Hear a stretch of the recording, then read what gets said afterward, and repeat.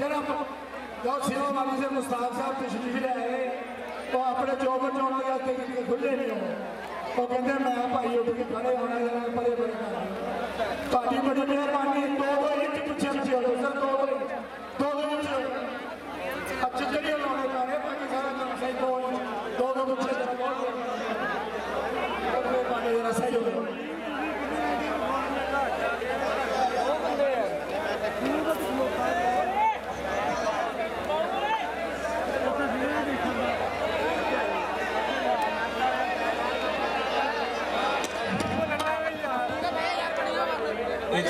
نعرے سنیے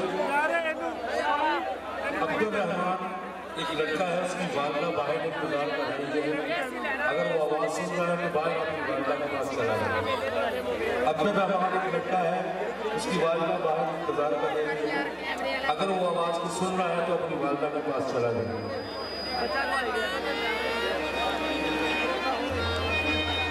بسم اللہ الرحمن الرحیم۔ میرے نام مل کے کہو ذرا۔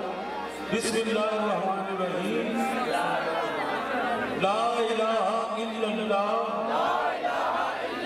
محمد رسول اللہ. ایمان علیہ اللہ. محفظ سے بیٹھے ہیں کہ اصف ایمان واسطے کلمہ پڑھ لیا ہے.